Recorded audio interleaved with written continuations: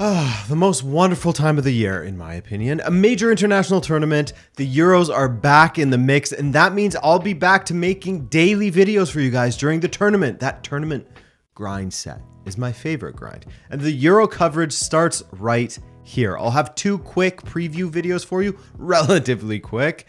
Groups D, E, F in this one, and then the previews for groups A through C will drop in about 48 hours on Thursday. And then next week on June 11th, I will release my predicting the entire Euros video. Every place in every group, then the knockout rounds, and the overall winner of the tournament. I did that for the World Cup a couple of years ago, and it was a really fun video. Got the winner right. So, yeah, that's all the programming you can expect from me over the next month or so, guys. Daily recaps and discussion, some watch alongs, and of course, preview videos for the knockout rounds as well. Also, guys, this is not an ad.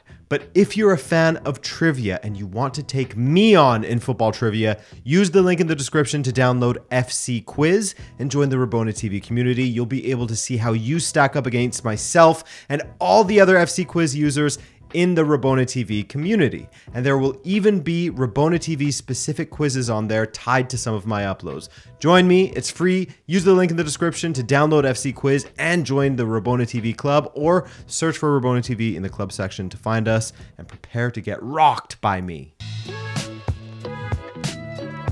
Group D is a heater, man. This is a group that is going to see a very solid team fall, or simply go through in third, I guess. I really love that more countries get an opportunity to play with the expanded format and you get some great stories out of it, but the concentrated chaos of the best 16 teams from Europe fighting for the cup was pretty cool. But anyway, back on the rails here as we look at Austria, Poland, France, and the Netherlands. Ronald Koeman is back, baby. He left the Netherlands to go to Barcelona. Things didn't go stupendously for either side in the meantime, time, though that 2022 World Cup with Van Gaal wasn't bad. But now Koeman and the national team are reunited, and things are looking pretty good for them as they move back to their 4-3-3 style that Koeman had implemented before his Barca break. Though he did switch to a back three against Germany in a friendly and in a few other matches as well, so I think he's going for a more dynamic, we can do it all kind of approach. Uh, many teams are like that these days. Although things may also be looking frustrating for them as they shared a qualification group with who else but France. Can't get rid of these dudes. You hate to see it, eh? France slapped them 4 0 in their first meeting, then 2 1. Netherlands have a ton of talent at the back with Alexa De Ligt, Van Dijk, Ake, danger in the wide areas from Jeremy Frimpong. Dumfries coming off of a good season again. And of course, creativity in the middle via Xavi Simons. Frenkie de Jong's absence is massive if he doesn't recover in time. But the big question is in the striker position. Does Koeman continue with Weghorst or switch to Brobbey, who despite Ajax's struggles, still scored 22 and assisted 12 this season? Gakpo played as striker for Liverpool. Depay is still around. No Josh Zirkzee though. So some great options and you'd expect Netherlands to advance, right? No predictions here, just general vibes of the group. Speaking of vibes, France has tournament winner vibes each and every time they enter a tournament these days, don't they? Final of Euro 2016, winner 2018 World Cup, lose in a shootout to Switzerland in Euro 2020, lose the final on penalties in 2022. By the way, imagine the horror of scoring a World Cup final hat trick and then losing that final. I feel for Mbappe, man. That's nuts. It's nuts. France aren't seen as favorites strictly based on their squad, which are always, you know, insane squads, but also their record at tournaments under Deschamps, a guy who isn't universally loved, but hey man, his results speak for themselves, don't they? Some argue that they make finals all the time in spite of Deschamps' tactics and substitutions, but I think at some point the record does speak for itself, you know? It's one last kick of the can for Olivier Giroud, who announced he'll retire from the national team after this Euros. Griezmann will still be there running all over the pitch. He'll be in the box. Then he'll be in his own box.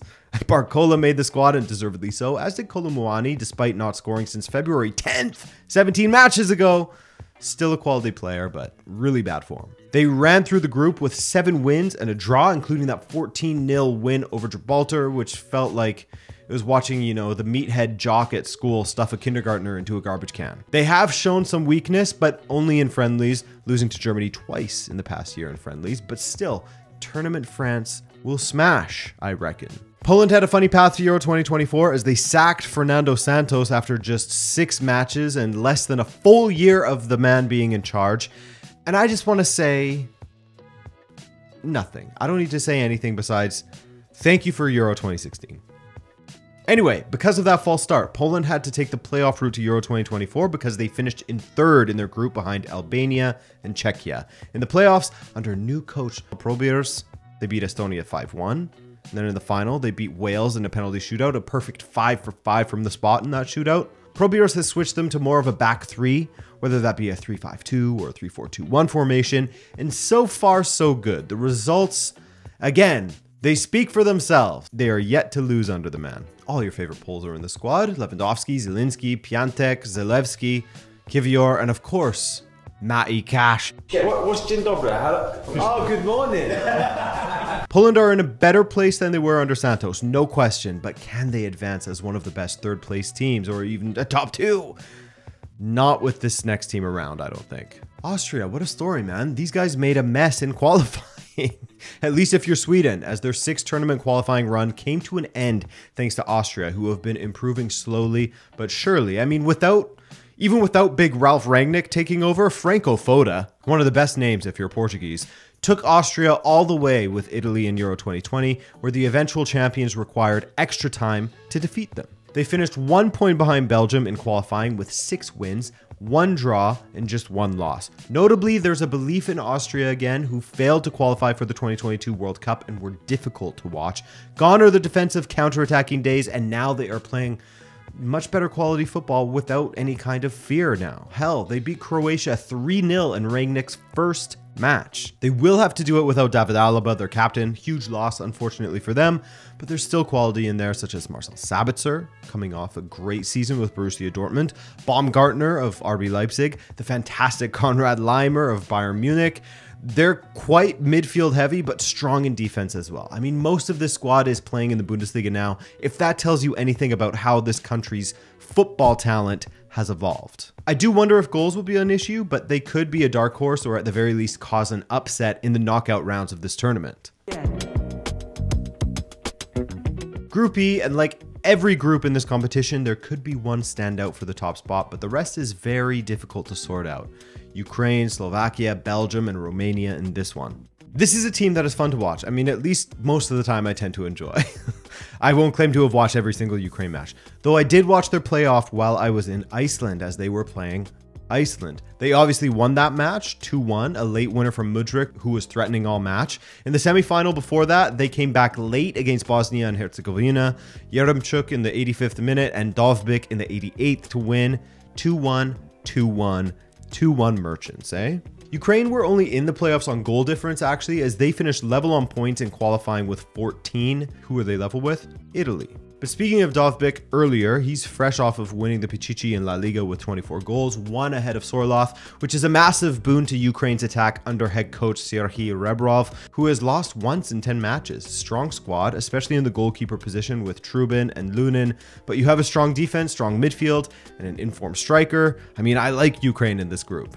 Slovakia is a team I watched, I'm not going to say quite a bit, but given they shared a group with Portugal, I did watch them often, and they always made it difficult for Portugal. That 3 2 Portugal victory in Portugal was not easy, with Slovakia dominating the second half. In fact, their qualifying campaign was super impressive, only losing to Portugal twice, drawing Luxembourg once, but winning every other match only conceded eight goals in qualifying, man, thanks in large part to big man Skriniar, no doubt the biggest name in this squad. A potentially exciting player to watch is Leo Sauer, the 18 year old left winger from Feyenoord who made the most of his cameos for his club. Two goals and four assists from just 274 Eredivisie minutes. So we'll see. That's a random player I'm throwing out there for you to watch. But as far as goals go, I worry about Slovakia. I still think they will make it out of this group. Maybe but that could be their Achilles heel. We'll see, maybe they won't. Domenico Tedesco, the man who took the reins from Roberto Martinez, and similarly to the man that preceded him, he coasted through qualifying as Belgium often do. In fact, he hasn't lost a single match for Belgium. And gone are the days of the back three. They're gone. Belgium have been playing a 4-3-3 or 4-2-3-1 these days. Now let me tell you what I don't like. Some of their options in defense. I am not over the moon with Jan Vertonghen in 2024. I love Vertonghen, just not in 2024. And their fullback options aren't terrific in my opinion either, and without Courtois in goal, I do worry a little bit about their back end. Back end? What? However, what I do like is their midfield and their attack. Great players on the wing, such as Trossard, Doku, Bakayoko of PSV, or Luca Bacchio, De Bruyne, Tielemans, or De Ketelaere through the middle of the midfield, and of course Lukaku or Openda as the strikers. I like them going forward, but again, worried about their backside. What? That said, they're making it out of this group, right? Right, fellas? I dare them not to. And finally, Romania, where they were indeed the shock of the qualifiers in some ways, at least. Did their group have any colossal countries in it? Not so much, but it was a very competitive group that Romania went unbeaten in. Six wins, four draws, top of the group ahead of Switzerland by five points. Eduard Iordanescu's side conceded just 5 goals in 10 matches played, which is where they drew most of their power in defense. The most notable player in the squad, after all, is likely that of Radu Dragusin of Tottenham. Other than that, Romania draws a lot of their player base from within their own country, as well as Turkey, a little bit of Italy sprinkled in there via Parma, Palermo, and others. And while I was incredibly impressed with how they navigated through qualifying, this is a massive step up as far as the quality of opponents they will be facing. It will be very, very very difficult for Romania to escape this group, even as a top third place side. I wish them luck though. I'd love to see a fairy tale. And maybe all of what I'm saying is just smoke and mirrors for my prediction, and maybe I'll have them in first in the group. You don't know. And finally, Group F, we've got the guys who let everyone down in Euro 2020, Turkey, as well as Georgia, Czechia, and Portugal. Fernando Santos, who we spoke about from a Polish perspective, is gone. Gone is the Santos era, and the Roberto Martinez era has arrived. To be completely fair and to be honest with you, what was a really nice change was seeing Portugal absolutely cruise through qualifying. That 3 2 win over Slovakia was probably the most danger that Portugal dealt with, and those two goals were the only two goals that Portugal conceded in qualifying, which is quite impressive 4 0, 6 0, 3 0, 1 0, 1 0, 9 0, and on and on it goes. 36 goals scored, two conceded in 10 matches. The thing is, with the quality Portugal has, they should be running through qualifying like this most of the time. In my opinion, they have one of the best squads, but are constantly dysfunctional under coaches of the past, like Santos. So far under Martinez, not bad. But anyway, all of your favorite Portuguese ballers are in the squad. I mean, look at this list. It's nice. Ronaldo will still likely be the starter. I mean, the guy did just break the record for the most goals in a single Saudi Pro League season. As long as he's in form, facilitating the success of others as well as himself and scoring goals, I have absolutely no issues with him starting. Hopefully, the jump from the Saudi Pro League defenders to this won't be too big, but he looked good in qualifying. Other than that, we saw Portugal go back and forth between a back three and a back four and look dangerous with both. So, assuming they don't crumble on the big stage, they should be a lock for the knockout rounds and possibly even a really deep run in this tournament. We'll see how they grow. Czechia, Czechia, Czechia. Maybe you know them as the Czech Republic, as I do as well. But maybe you dabble with the idea of calling them Czechia, as UEFA does, and many in many sporting events they're called Czechia. Look, Czechia, sometimes I'll say Czechia like you requested, sometimes I'll say Czech Republic. It's sort of like a vase vase situation. I don't even think about it, it just happens. Anyway, they swooped into Euro 2024 on the tails of Albania. Well, actually, they finished level on points with Albania on 15, but just behind them on goal difference. Ivan Hasek returned as the coach in 2024 after previously coaching Czechia back in 2009. What happened to the man who qualified them in Jaroslav Silhavy? He didn't extend his contract, citing the crazy amount of criticism and hate he received whenever they failed to win a match, and he moved on to coach Oman. Anyway, remember the goal Patrik Schick scored at Euro 2020 from about the halfway line? He's fresh off of a double winning season with Leverkusen where he was second choice much of the time, but still scored 13 goals from 1500 minutes, so he's in good form. In fact, looking at this Czech squad, they are worthy of your consideration to advance from this group. Quality in all parts of the pitch, really. Deep run? Don't think so, but not pushovers. Georgia are in. Georgia are in thanks to how they did in the UEFA Nations League, where they topped their group in League C. So they entered the playoffs in the C path and had to overcome Luxembourg, which they did quite comfortably with a 2 0 win. Then, in the final of the playoff, they came up against Greece, the 2004 champions, fresh off of a 5 0 victory over Kazakhstan in the semis and without a single goal scored in 120 minutes. Georgia won the shootout 4 2. Huge Their first major tournament in their history, man. So congratulations to Georgia. Great to have you. And of course, the man you will know in their squad is Khvicha Kvaratskhelia of Napoli, but you'll also know their manager Willy Sagnol as the Frenchman took over the national team job in 2021 and has the highest winning percentage of any Georgian national team manager that oversaw at least 10 matches. So he's doing quite well. He's turning a page. There aren't any other players at the stature of Kvaratskhelia in this Georgian squad at the moment, and while they deserve to enjoy this massive achievement of qualification, I think it's fair to say that the chances of them advancing beyond the group stage are slim to none in this group. But we salute you fellas. Make me eat my words. Make it fun out there. Speaking of manager names, you will remember Vincenzo Montella is the man that has taken over the Turkish national team.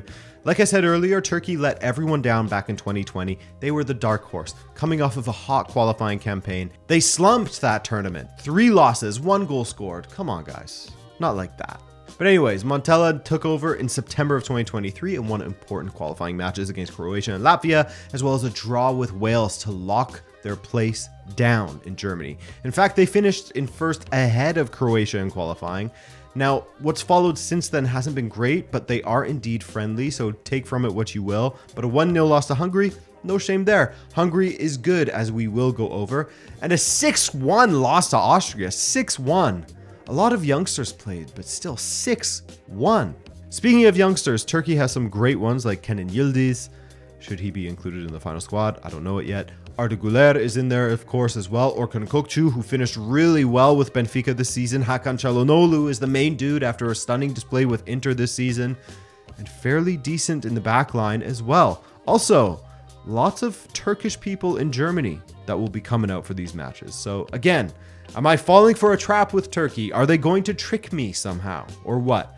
Are you good or not, Turkey? I need you to decide. Personally, I would like to see them make it out of this group. Turkish fans will add some nice spice to the atmosphere in the stadiums. It'd be good to see.